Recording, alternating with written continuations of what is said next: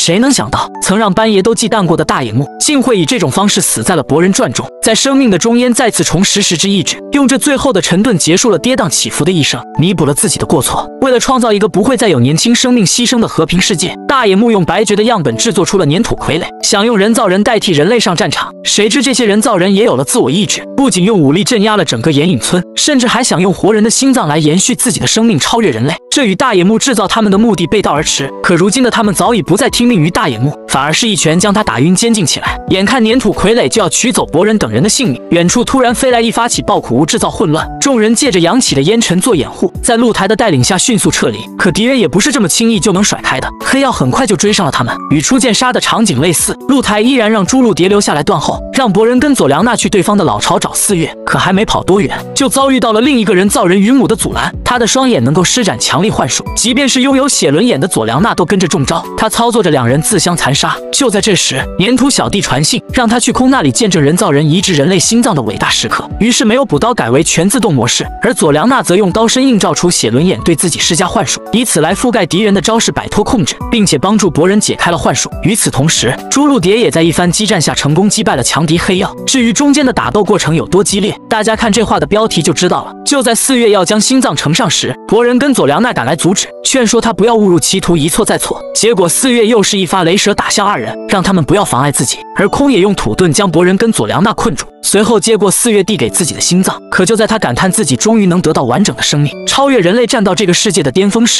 四月竟然从背后偷袭，一招黑虎掏心，像极了当初黑绝被刺斑爷的场景。而献给空的心脏也是他的小蛇伪装。面对四月突然的反水，敌人跟友军都懵逼了。What are you 弄啥嘞？与此同时，用于制造粘土傀儡的工厂被木叶丸炸毁，那些差点被夺去心脏的人也都重获自由。脱困后的黑土带领岩隐忍者们。开始反击，形势瞬间逆转。大野木也知道自己不能再坐以待毙，用加重岩之术干掉了监禁自己的粘土傀儡，并在石器的帮助下赶往战场。石英对四月的突然反叛派异常愤怒，兄弟跟你心连心，你跟兄弟搞脑筋。他第一次体会到了背叛的滋味。四月让博人跟佐良娜去追逃跑的空，自己留下来对付石英。虽然四月打从一开始就没想过加入他们，但对石英的感情却是真实的。是他让自己明白了，即便是人造人也拥有自己的意志，所以他想救石英，不愿与之为敌。可石英却已无退路。说什么也要跟四月战斗，或许在他的心中，死在四月手里是他最好的归宿。另一边，博人跟佐良娜再次遭到了云母的阻拦，这一次他召唤出了大石头人来对付两人。好在博人还有新牙这张通灵兽体验卡，石头人被巨蟒盘成粉末，而佐良娜终于找回了宇智波的尊严，用写轮眼的幻术骗过了敌人，随即释放皮卡丘的电球，效果拔群，成功击败了云母。四月也在送别石英后赶来汇合，如今只剩最后的敌人空了。本该身负重伤的他，居然满血复活，并且夺取了岩村博士的。心脏移植到了自己身上，此刻的他已经超越了人类的存在，三人联手都不是他的对手。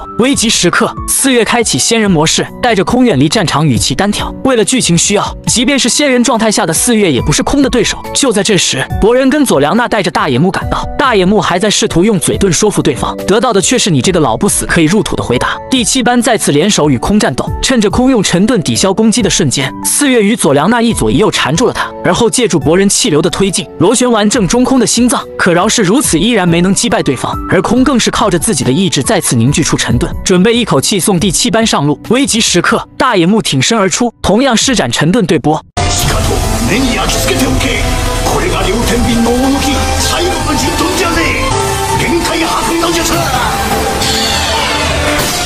大野木用自己的生命捍卫了最后的尊严，重新拾回被自己抛弃的十之意志。其他影们都来参加大野木的葬礼，而他的意志也将传递给后辈们，生生不息。回顾大野木的一生，他也曾是从一个平凡的少年慢慢的成长，最终成为了独当一面的土影。与其把年轻一代当做温室里的花朵，不如放手让他们自我成长，从挫折苦痛中获得历练。所谓的十之意志，就是无论身处何种逆境都绝不屈服的坚强内心。